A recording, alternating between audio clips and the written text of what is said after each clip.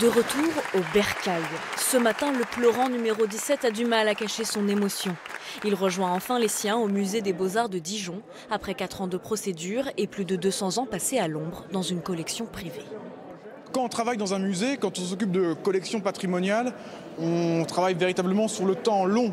On conserve des collections qui sont là depuis des siècles et notre travail est de faire en sorte que dans plusieurs siècles, elles soient encore là. Donc on prend conscience à l'occasion euh, d'une occasion comme celle-ci qu'on est finalement un des maillons d'une longue chaîne qui remonte au XVIIIe siècle et qui continuera, on l'espère, le, le plus longtemps possible. L'une des dernières pièces d'un trésor du XVe siècle, une procession de 82 statuettes en albâtre qui pleure à chaudes larmes Philippe le Hardy et son fils Jean sans peur. À la Révolution, l'ensemble échappe à la destruction, mais 12 pleurants sont perdus, éparpillés jusqu'aux États-Unis. Voilà pourquoi, en 2010, quand le musée ferme pour travaux, un petit groupe s'envole rejoindre ses pairs. New York, puis le Missouri, Dallas, Los Angeles, San Francisco. Une tournée de rockstar qui passe par Bruges, Berlin et Paris trois ans plus tard.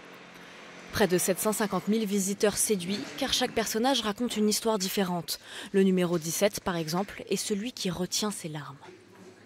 C'est euh, un geste qui montre à quel point les sculpteurs ont voulu euh, rendre l'émotion du deuil, la tristesse qu'on peut avoir à la perte donc, du duc Philippe le Hardy en l'occurrence, peut-être la tristesse qu'on peut avoir devant la perte de tout, autre, tout être humain.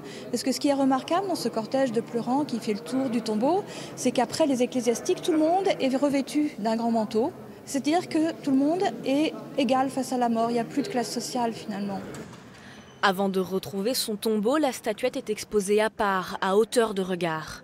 Il a fallu une décision du Conseil d'État en 2018 pour la restituer aux biens nationaux. C'est une victoire pour le Palais des Ducs, mais la guerre n'est pas terminée.